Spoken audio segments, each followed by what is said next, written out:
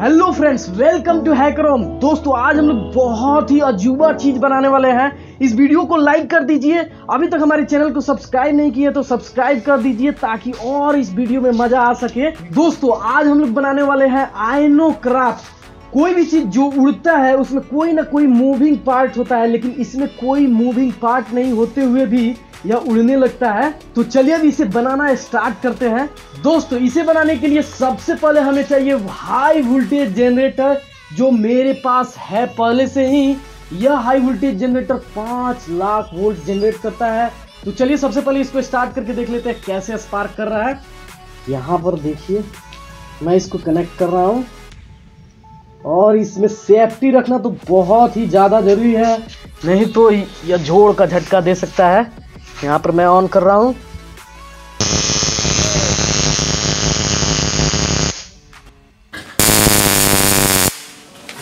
ये तो बहुत ही ज़्यादा आवाज़ कर रहा है। तो चलिए अब क्राफ्ट का बॉडी बनाना स्टार्ट करते हैं।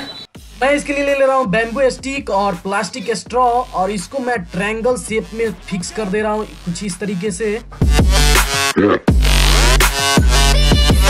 अब मैं इसमें एल्युमिनियम फॉयल यहाँ पर फिक्स कर दे रहा हूँ। इसके ऊपर वाले भाग को मैं मोड़ दूँगा और नीचे वाले भाग को स्ट्रेट ही रहने दूँगा। अब मैं यहाँ पर पतला कॉपर का वायर फिक्स कर दे रहा हूँ। इस कॉपर वायर में इंसुलेशन नहीं है।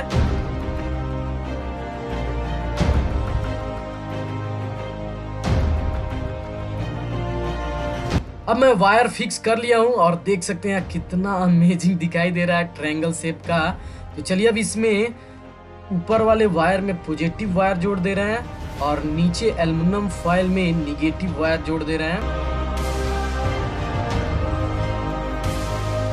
अब इसको स्टेबल रखने के लिए इसमें मैं धागा फिक्स कर दे रहा हूँ ताकि यह स्टेबल रह सके। पावर सप्लाई के लिए मैं यूज़ कर रहा हूँ 24 वोल्ट के बैटरी और जेड वी एस किट इसको मैं फिक्स कर दिया हूँ फ्लाईबैक ट्रांसफार्मर में और फ्लाईबैक ट्रांसफार्मर के आउटपुट को मैं फिक्स कर दिया हूँ। वोल्टेज मल्टीप्लायर में और इसका आउटपुट मैं फिक्स कर दिया हूँ इस क्राफ्ट में।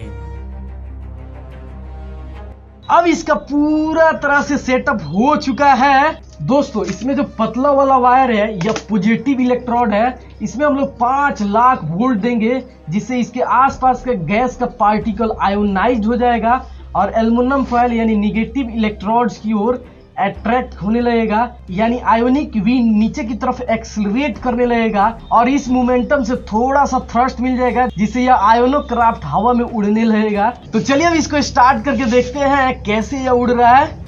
चलिए अब इसको स्टार्ट करते हैं, यहाँ से मैं जोड़ रहा हूँ। वो ये देखिए कैसे उड़ रहा है! यहाँ पर वो मेरा बाल खड़ा हो रहा है। वो, ये देखिए। देखिए कैसे उड़ रहा है। वो।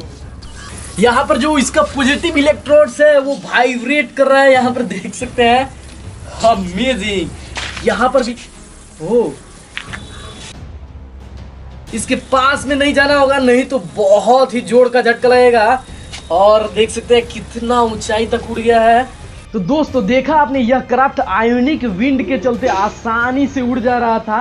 सन भी सोलर विंड छोड़ते रहता है, जो कि एक आयोनिक विंड होता है। हमारा एटमॉस्फेयर चार्ज से भरा पड़ा हुआ है।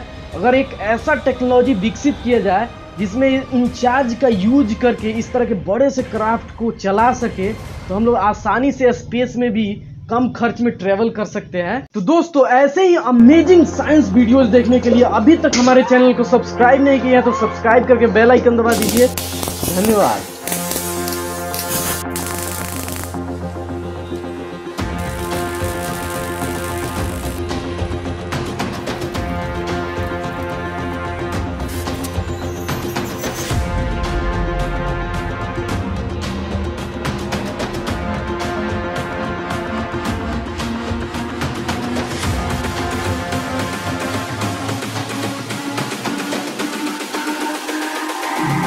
all about humanity.